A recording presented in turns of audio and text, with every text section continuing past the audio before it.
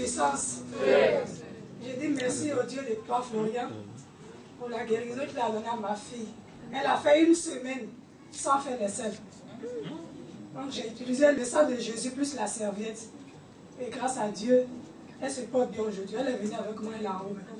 Je dis Que merci au Dieu de Papa Florian pour ce qu'il a fait.